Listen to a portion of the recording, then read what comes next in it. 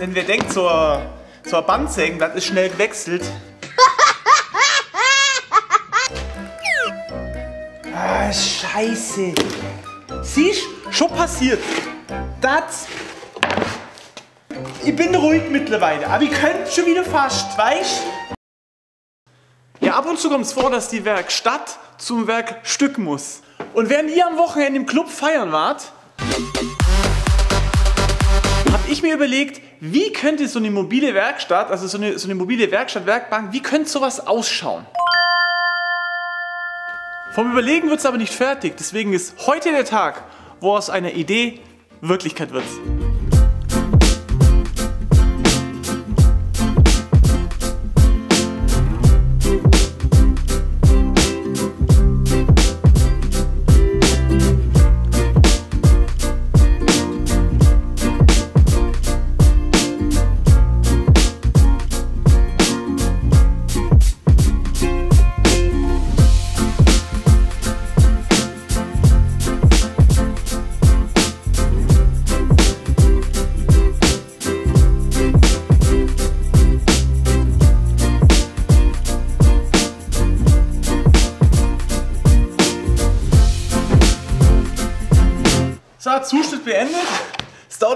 Zeit. Jetzt müssen wir die einzelnen Teile aber noch vorbereiten, weil so ja, wird da nichts draus. Bin jetzt schon wieder gespannt, was am Schluss hinhaut. Ja, momentan haut er relativ viel hin. Es gab eine Zeit, da hat es nicht hingehauen. Bei dem Projekt bin ich mir nicht so ganz sicher, ob es hinhaut, aber ihr seid live dabei.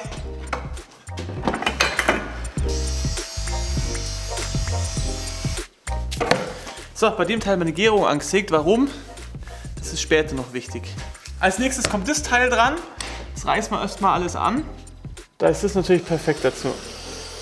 So, wenn ich jetzt wie hier zwei gleiche Teile habe, dann mache ich es oft so, ich lasse die Einstellung, mache das zweite Teil, weil ihr kennt das bestimmt, ja. Man stellt irgendwas ein, man schielt, ja, und schon ist es falsch eingestellt und dann sind die beiden Teile ungleich. Ungleich, Truppe. Das warst du auch. So, interessant wird es gleich, wie wir diesen Ausschnitt machen. Da möchte ich heute mal was ausprobieren. So, jetzt markiere ich mir aber, was weg muss. Ja, ich habe es schon oft genug gehabt, dass ich das Falsche weggesägt habe. Ich weiß nicht, wer das von euch auch kennt. Ja. Passiert. Ich habe ja gesagt, ich möchte was ausprobieren. Jetzt schauen wir mal, wie gut der Schnitt mit der Stichsäge wird. Ja, meine Stichsägen-Skills sind nämlich Expert-Level. ja, und wenn der Schnitt jetzt nicht ganz so geil ist, dann probieren wir es mit der Fräse nachzufräsen. So wollte ich es eigentlich machen, aber wir gucken mal, wie das jetzt mit der äh, Formatkreissäge, mit der Formatkreis...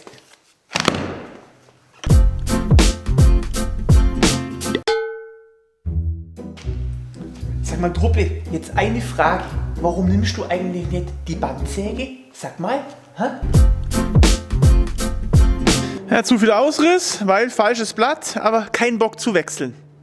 Denn wer denkt, zur, zur Bandsägen, das ist schnell gewechselt.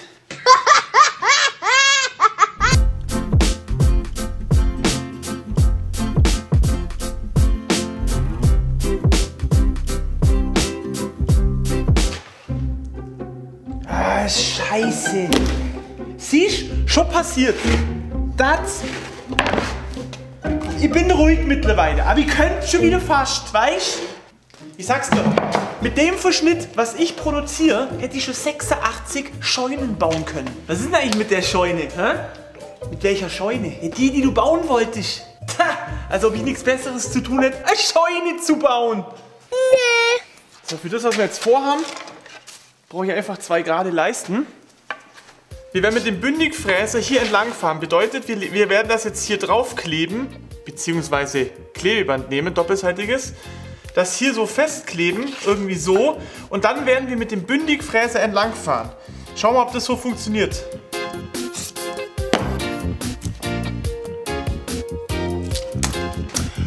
Schauen, dass die Kante auch wirklich gerade ist, weil sonst äh, gibt es eine Buckelpiste mit dem Bündigfräser.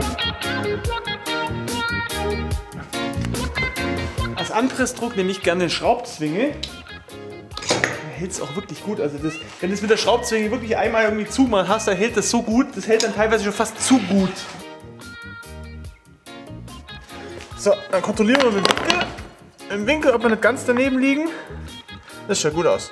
Die Idee ist es, wie jetzt gesagt, mit einem Bündigfräser das Ganze bündig zu fräsen. Ich verlinke euch den in der Videobeschreibung. Den muss ich jetzt noch einstellen. Zwar so, dass dieses Kugellager diese Fläche abläuft. Und deswegen habe ich gesagt, es ist wichtig, dass diese Fläche glatt ist. Denn wenn hier Boppel drauf sind, ja, dann überträgt sich das auf das untere Teil, was wir fräsen wollen. Deswegen aufpassen, dass dieses obere Teil, was führt, auch wirklich glatt ist.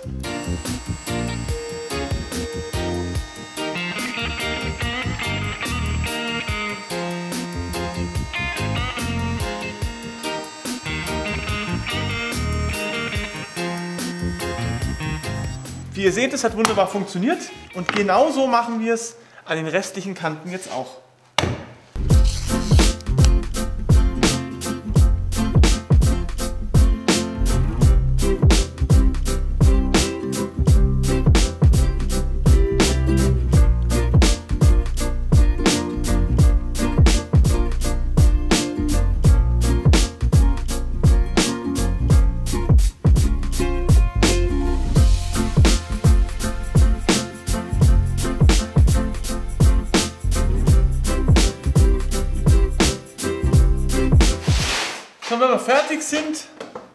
Wunderschöne, winklige und gerade Ausschnitte. Ja, bis auf den Fehler, aber ich glaube, den spachtel ich nachher zu oder irgendwas. Das wird jetzt eh noch auf einer anderen Platte draufgeleimt.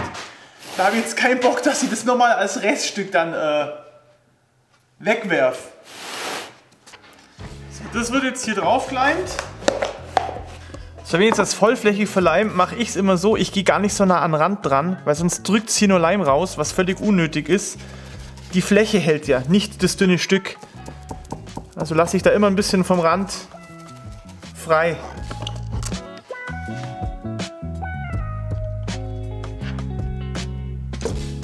Wisst ihr, welchen Satz ich noch nie jemanden habe sagen hören? Ihr habt viel zu viele Schraubzwingen. Ich glaube nicht. So, wenn die Dinger trocknen, werden wir hier jetzt noch einen Radius anschleifen. Das mal anzeichnen, das Ganze. Den guten Schulzirkel, ja, den habe ich auch schon seit, glaube gefühlt zwei Milliarden Jahren. Den brauche ich ja nur noch zum Basteln.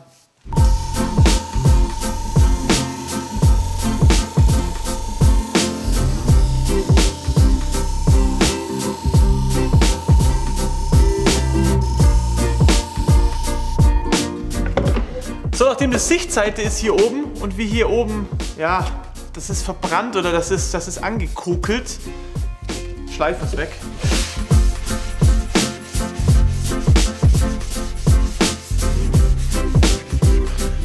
Dann müssen wir noch ein bisschen, weil es sieht dann nachher ungeil aus, wenn es geölt ist und wir haben diese braunen Stellen, die sieht man dann noch mehr. Also das muss man schon wegschleifen. Das ist ein bisschen Arbeit, aber es muss weg. Also ich sage euch ganz ehrlich, seit ich die gebaut habe, ja, das sind ja die mit dieser, dieser Spannvorrichtung hier, seit ich die Dinger gebaut habe, benutze ich die ständig. Weil ich sage euch ehrlich, diese normalen Schleifklötze, bei denen man das Schleifpapier irgendwie zu einer dummen Schraube, ich habe die nie verwendet. Aber seit ich die habe, die verwende ich wirklich an jeder Ecke. Die Bauanleitung verlinke ich euch unten, falls ihr das nachbauen wollt.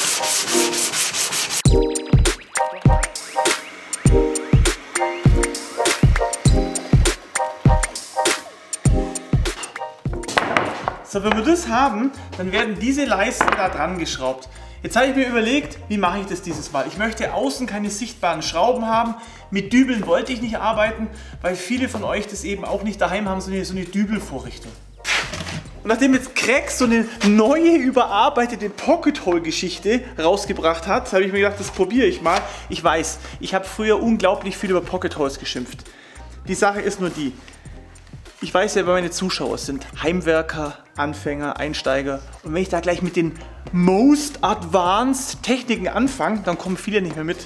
Und deswegen möchte ich das mal mit einem Pocket Hole ausprobieren. Das hält auch sehr gut, ist für Anfänger gut geeignet, auch für Fortgeschrittene. Ich habe es bis jetzt nicht so oft verwendet, aber ich habe mir gedacht, ich werde das Ding jetzt mal vorzüglich mit diesen Dingen bauen und mal gucken, ob das hält. Da habe ich eigentlich keine Angst.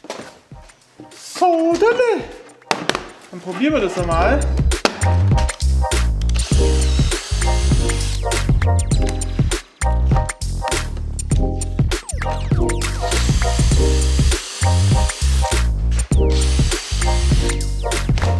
echt ein Genuss. Weil vorher war das so, da hattest du so eine komische Klemme, die hast einstellen müssen. Und jetzt spannt sich das selber fest. Das ist echt schon, schon eine Erleichterung. So, jetzt ist es so, wenn du solche Pocket Holes verschraubst, ja, dann kannst du nicht irgendwelche Schrauben nehmen, sondern du musst spezielle Schrauben nehmen. Schrauben, die dafür geeignet sind. Ich nehme jetzt die Originalen, ja, entweder ihr nehmt gleichwertige mit Flachkopf und Vorschneider oder ihr nehmt die Originalen, weil nur so kann man gewährleisten, dass die Verbindung auch wirklich richtig stabil ist.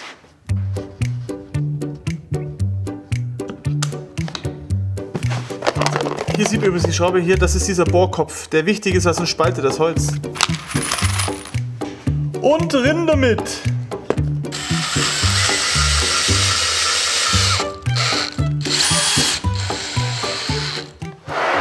Ihr seht jetzt, warum ich die Verbindungen gewählt habe bei dem Projekt dieses Mal. Wir haben hier keine außen sichtbaren Löcher und wir haben keine komplizierten Dübel, die ich mit irgendwelchem Spezialwerkzeug, gut, ist auch Spezialwerkzeug, aber da kriegst du halt schnell gute Verbindungen hin, auch als Anfänger. So, das stellen wir mal dahin, wenn wir den Projekt noch öfter sehen, ich es gleich griffbereit. Oh, ich bin so blöd. Die Rundung könnte auch nach oben. Oh Mann. Naja. Zum Glück ist die Verbindung lösbar.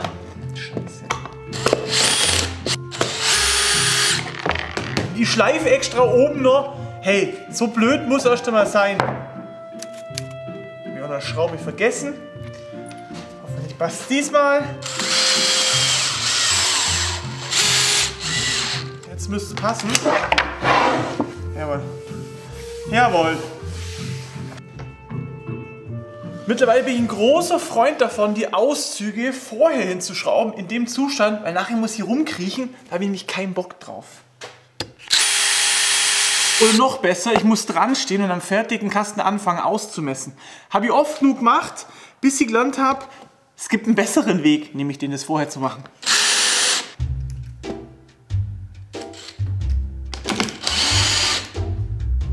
Ich überlege jetzt gerade, wenn ich das Ding nachher lackiere, dann wäre es ja eigentlich blöd, wenn die Auszüge drin wären. Also, Auszüge wieder raus.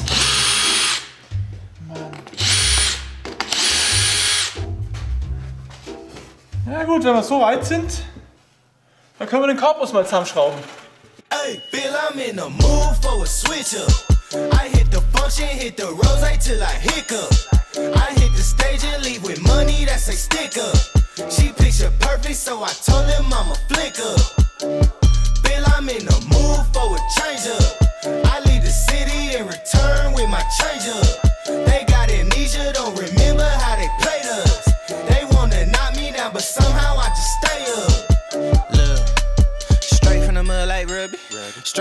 Straight to the stage, they love me. I understand they hungry, but please don't hate, that's ugly. I've been sliding, shaking, moving. I've been popping in my city. Shawty say she love the way we do it, do it with me. I be too turned up to ever give a f- I ain't come to argue, let it Also ich muss ehrlich sagen, was ich an dieser Pocket Hole Geschichte jetzt wirklich cool finde, ist, es muss kein Leim ziehen. Ich kann sofort weiterarbeiten. Das finde ich echt ein Vorteil. Also jetzt hätte ich wieder was ein paar Stunden warten müssen, bis ich da weitermachen kann, aber ich kann jetzt sofort weitermachen. Das ist eigentlich ehrlich gesagt voll, vollkommen ungewohnt, mal nicht warten zu müssen. So.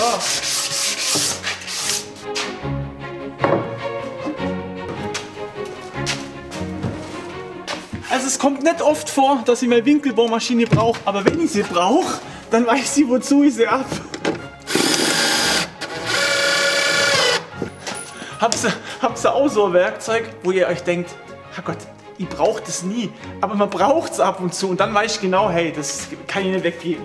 Mit dem Werkzeug, ich brauch's seltenst, aber es kommen Zeiten, da brauchst du einfach eine Eckbohrmaschine. So, Schubladen kann man jetzt auf mehrere Weise bauen. Natürlich kann man es mit Pocket Holes bauen, da braucht man aber andere Maße. In der Bauanleitung, wenn ich fertig bin mit dem Ding, dann mache ich euch eine Bauanleitung, dann mache ich euch einmal eine Version für Schubladen mit Pocket Holes und einmal ohne. Wir machen es ohne und zwar machen wir es mit Nuten und Falzen. Zum Fräsen nehme ich einen 6 mm und einen 20 mm Fräser. Die verlinke ich euch in der Videobeschreibung unten. Und wenn ich dann probiert habe, ob das Maß so passt, was ich eingestellt habe, weil ich kann nicht einfach fröhlich losfräsen, ich muss ja erstmal schauen, dass das alles genau ist. Dann fräse ich meine endlichen, meine äh, endlichen, meine, meine tatsächlichen, ta äh, endlich, ta tatsächlich.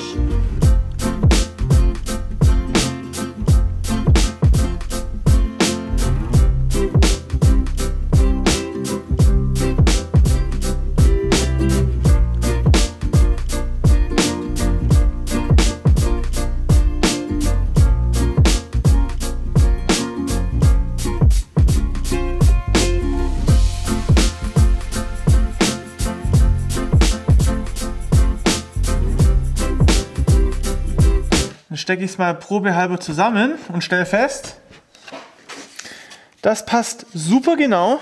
Ich muss schon eigentlich gar keinen Leim mehr angeben, weil es so genau passt, dass es perfekt ist. Ihr seht, das hält schon, ohne dass ich überhaupt Leim dazu gegeben habe. Gute Methode, kann man echt mal ausprobieren. Schnell, genau, passt. Fertig verleimt bringen wir diese Auszugsschienen an.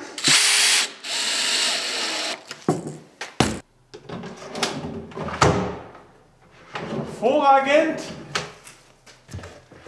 Wenn das soweit passt und unsere Schubladen laufen, erst dann mache ich die Fronten, weil mein Kasten passt nicht zu 100% und so kann ich jetzt die Fronten an meinen Korpus anpassen.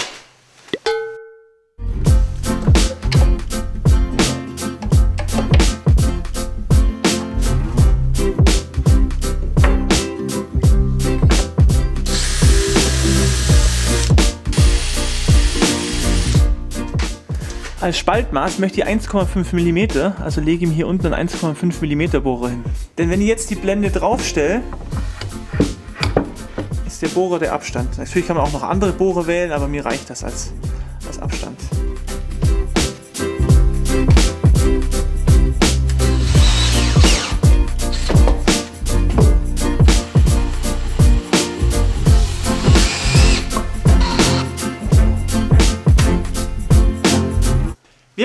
geschafft, aber nicht alles. Den Rest, und das ist noch einiges, machen wir im zweiten Teil. Kanal abonnieren, dass ihr den zweiten Teil nicht verpasst. Ich darf Danke sagen fürs Zuschauen. Wir sehen uns beim nächsten Teil wieder. Macht es gut, bis die Tage. Servus.